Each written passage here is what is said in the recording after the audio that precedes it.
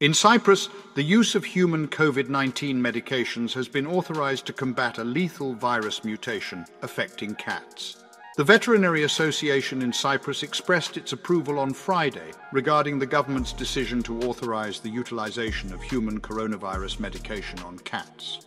This measure aims to combat a domestic variation of a feline virus that has resulted in the death of numerous animals on the Mediterranean island.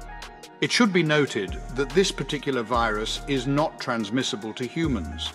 The organisation released a statement expressing their request to the government for affordable access to the medication. This request has been made since the start of the year when the emergence of the mutation responsible for the fatal feline infectious peritonitis, FIP, became increasingly prevalent among the local cat community. The association made it clear that they are committed to ongoing efforts in the investigation and management of the increasing number of FCO 2023 cases.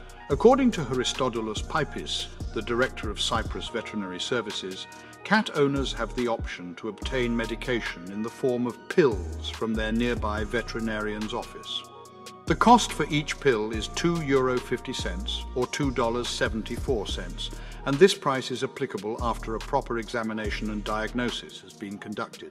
The medication is known as Lagevrio, and its active component is molnupiravir. According to Nectaria Ioannou Arsenoglou, the president of the Veterinarians Association, it is impossible for humans to contract the altered feline virus, as it is not linked to COVID-19. This information was shared with the Associated Press.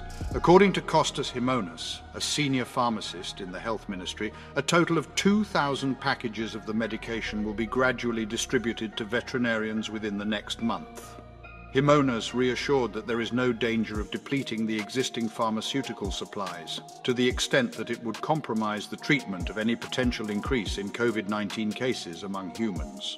According to Arsenoglou, the assertion made by local animal activists that the mutation resulted in the demise of approximately 300,000 felines is an overstated claim. According to Arsenoglou, a survey conducted by an association of 35 veterinary clinics revealed approximately 8,000 deaths across the entire island.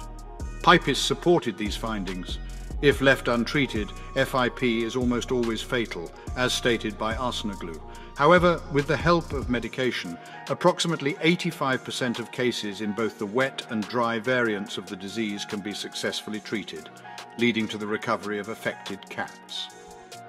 Treating feline infectious peritonitis, FIP, presented a significant challenge due to the exorbitant cost of the medication, rendering it inaccessible for numerous individuals responsible for feline care, as voiced by advocates.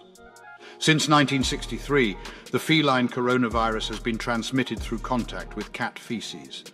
In the past, previous outbreaks naturally subsided without the need for any medication, as Arsenoglou stated. In order to prevent the spread of the mutation, measures have already been put in place. These measures include mandatory medical examinations for all cats that are being adopted and sent overseas.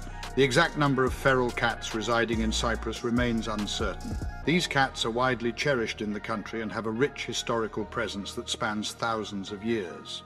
To support our channel's growth and ensure broader awareness, kindly hit the like and subscribe buttons.